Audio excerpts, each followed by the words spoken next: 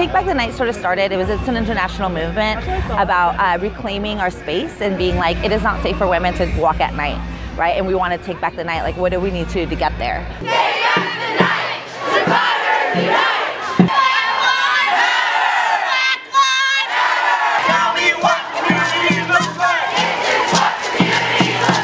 Anyone can put together a resource fair and invite all of these people to come. But we, what we want to do is actually create a space and an event for people to be connected to resources, but also to um, be able to express themselves in how these issues affect them. We have a few different art projects that are here where people can go on and, and paint. You can make buttons that say the things that you want to say.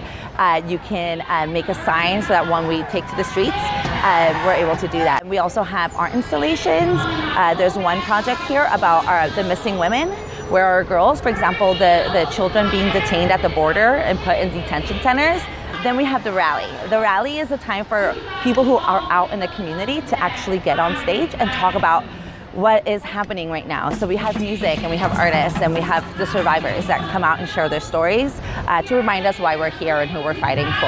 And then at the very end, we get to march. We take to the streets and it's really great because we watch right through Midtown. There's just something that's super um, healing to take to the streets with, with your allies, with your sisters, with, with your community, and I just scream and say like, no means no, yes means yes, and things like that.